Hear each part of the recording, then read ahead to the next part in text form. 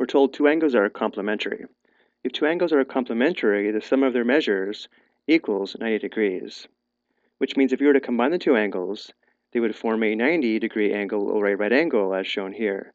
So this angle and this angle are complementary. If one angle measures x degrees, let's say this angle here measures x degrees, we're asked to express the measure of its complement in terms of x. Well, the complement of this angle would be this angle here, and because the sum of the measure of the angles equals 90 degrees, this angle must be equal to 90 minus x degrees.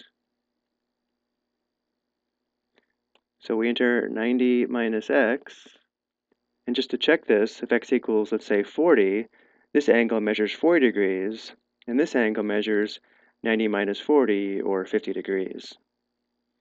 Next, we're told two angles are supplementary.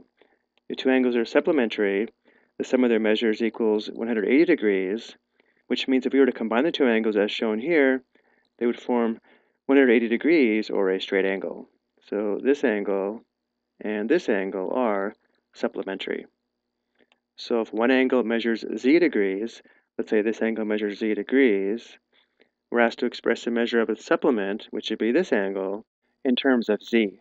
And because the sum of the measures equals 180 degrees, the measure of the second angle must be 180 minus z degrees.